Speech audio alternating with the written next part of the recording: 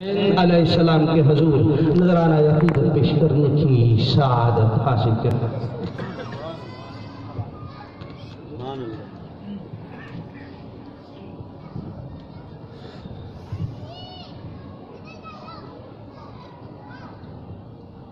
कि कौनैन कौनैन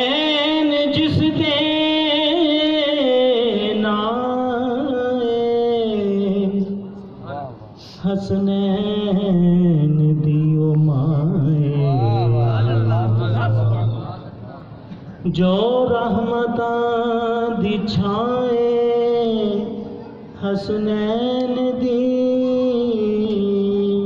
माए। ए दीन है मोहम्मद, ईमान है मोहम्मद। हर जान